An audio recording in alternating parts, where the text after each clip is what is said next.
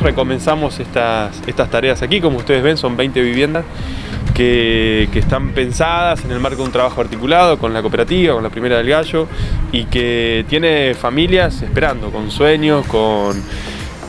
muchas ganas de poder habitar estas habitaciones y de proyectar la vida a partir de, la seguridad del techo.